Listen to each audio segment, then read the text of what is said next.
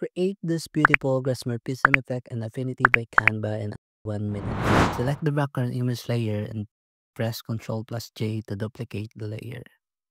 Select the top layer, go to Filter, Blur, then Gaussian Blur,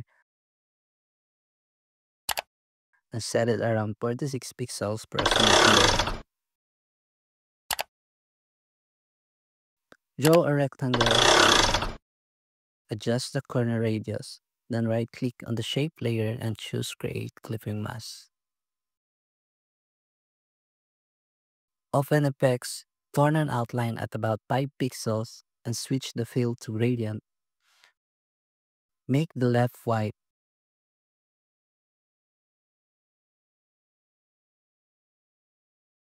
Set the middle color's opacity to zero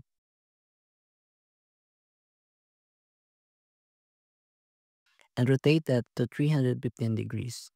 Finally, add a shadow, increase the radius and offset to 100 pixels, and set opacity above 50% for that soft glassy look.